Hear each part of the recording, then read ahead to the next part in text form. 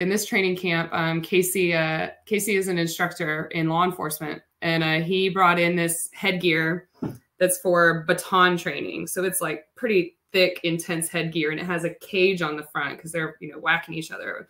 He's like, "Look, I want you to elbow me as hard as you can in the head."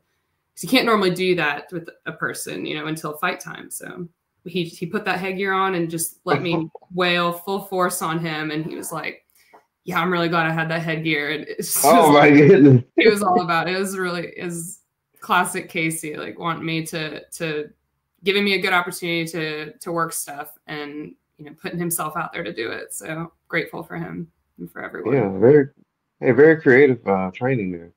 Um, yeah. and, and shout out to Casey for uh, putting himself at at uh, harm's risk like that because man, uh, from what I've seen from you, I wouldn't want to take one of those blows. So I mean, even with a helmet on like that. Yeah. So yeah. yeah. He said it was good and he'll do it again probably. So I'm grateful for that.